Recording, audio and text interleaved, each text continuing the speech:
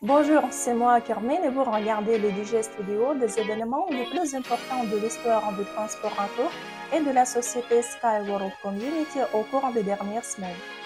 Contenu de cette édition. Des essais sur une piste semi-rigide de plus de 2 km sont en cours en. UST Inc. et Fontan Capo-Enru ont présenté un projet spécial sur le transport hors sol en Russie. La technologie UST intéresse le gouvernement indien du Gujarat. Ne perdons pas de temps et passons immédiatement au premier événement.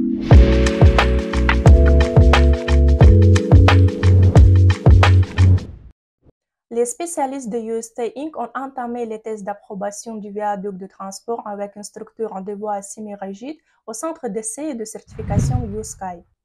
L'objectif principal des travaux est d'évaluer les résistances de la piste et de vérifier le fonctionnement de ces mécanismes, unités et systèmes. Le test de la ligne d'une longueur de plus de 2 km est effectué avec un Unibus U4 212 chargé.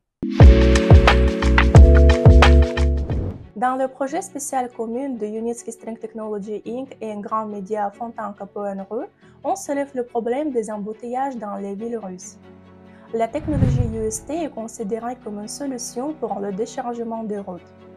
Le projet des médias contient des statistiques sur la situation routière et les opinions des experts sur les perspectives d'utilisation du transport hors sol en Russie. Il est à noter que grâce à sa haute capacité, le transport UST est capable de se charger d'une part importante du trafic urbain. Le centre d'essai et de certification en Sharjah a été visité par des membres du gouvernement du Gujarat.